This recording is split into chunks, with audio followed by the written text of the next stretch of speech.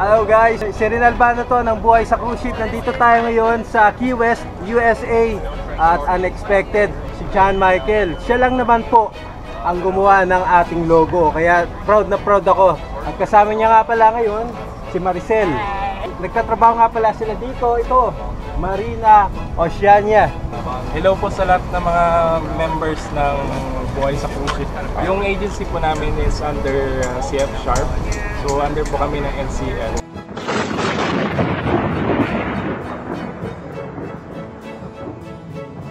Magandang magandang araw po sa inyo lahat guys. Si Rinal Banda to ng Buhay sa Cruise Ship. Ang tatalakayin po natin for today's episode ay kung paano mag-apply online sa CF Sharp. At ano-ano nga ba ang mga cruise ship na hawak nito?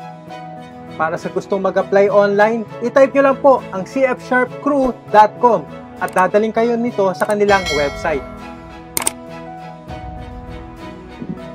Pagkapasok niyo po rito sa website, click nyo lang po itong Yes, I agree. Scroll down lang po natin. Makikita nyo po dito ang tab na Careers. I-click nyo po ang Apply Online. At dadalhin po kayo dito. Dito po makikita nyo yung online application form. Pwede nyo po itong i-fill upan ang inyong personal information. Employment history sa C-Base. Employment history sa land-based. Ang inyong education. Pagkatapos nyo pong fill upan yan, i-attach nyo po ang inyong resume dito. And then, click send. Maaari nyo din pong i-download ang hotel application form na makikita dito. Click po natin. Dadalhin po kayo dito. Ayan. Ito po yung CF Sharp Crew Management application form nila. Pwede nyo po itong i-print. After nyo pong mapilapan to, pwede nyo na pong i-scan at saka i-send as an attachment sa inyong email. Ngayon, marami pong aplikanteng nagtatanong kung hiring ba ang isang agency. Para sa akin guys, ang may papayo ko lang ay mag-apply lang po kayo, hiring man ito o hindi. Dahil kung hindi man hiring ang isang agency, ang inyong sinabmit na resume through online or walk-in ay itatabi po nila ito. At pag meron na silang hiring, i-check na po nila ulit ang mga nasubmit na resume. Tulad sa case ng CF Sharp na nag-stop temporarily ng hiring sa hotel department dahil nga sa pandemic, it doesn't mean po na nag-stop na sila mag-recruit. Pwede pa rin po kayong mag-apply.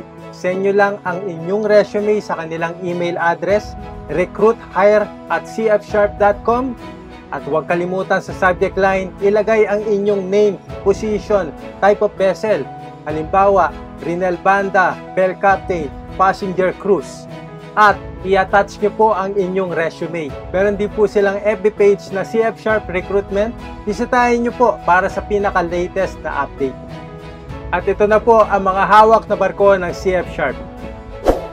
Norwegian Cruise Line, itinatag noong 1966.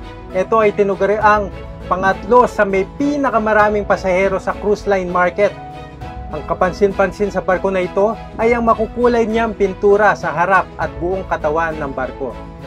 Regent Seven Seas Cruises. Ito ay nakabase sa Miami, Florida. At ang barkong ito ay isang luxury brand passenger cruise ship na 6-star ang kanyang rating. Ang lahat ng kwarto nito ay may balkonahe. Worldwide po ang kanyang mga biyahe.